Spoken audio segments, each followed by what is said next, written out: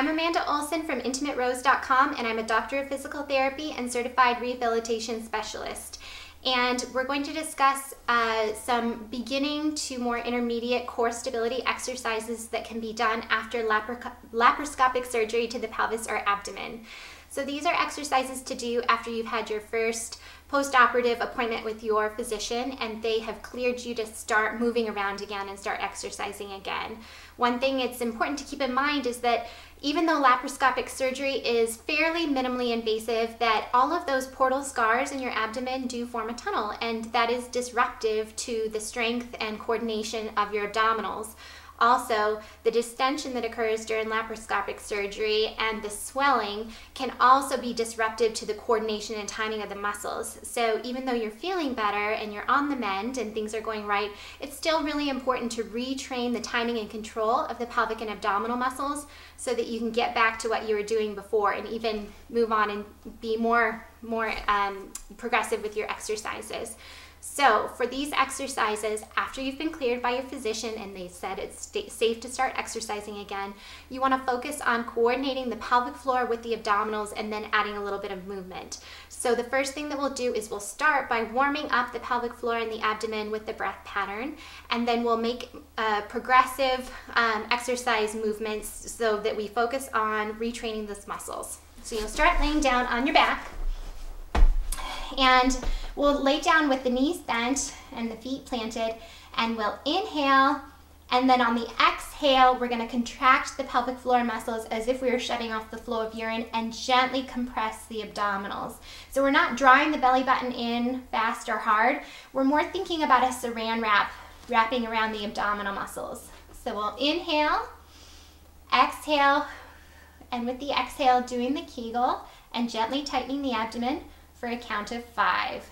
And then inhale, relax. Exhale. Inhale again. Exhale, contract. So coordinating the pelvic floor muscles with the abdominals. Five second hold, do that 10 times. Then we're gonna add a little bit of movement with it. So the, the basic gist is we're gonna keep building on that Kegel with abdominal control. So on the exhale, we'll, we will do the Kegel, we'll engage the abdominal muscles, and then we're gonna lift one leg up to 90 degrees and then set it down with control, starting with the ball of the foot and rolling down through the foot. And then we'll inhale, rest, exhale, do the Kegel, contract the abdominals, keep that engaged, lift the opposite leg, and then set it back down with control. The objective here is to keep the pelvis and the abdominals very still, almost as if you had a teacup on your pelvis and you don't want to spill your teacup. So we'll inhale, exhale, contract pelvic floor and abdominals, lift the leg, lower it with control. Inhale, relax. Exhale, contract.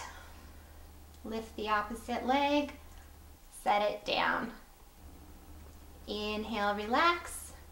Exhale, grab the Kegel, engage and lift, set it back down. Aiming for 10 on each side. Next, we'll roll onto our side and have the knees bent and support your head with your bottom arm. We're gonna do that same Kegel with the breath and we're gonna add a little clamshell on top of it. So the objective here is that we're starting to engage the hip muscles that are helpful in maintaining core and spinal stability. So we'll inhale, relax. Exhale, do the Kegel, engage the abdominals, lift the top knee, and set it back down. And again, inhale, relax. Exhale, contract, lift the top knee, set it back down. You'll want to do 10 on each side. The final one is a modified plank.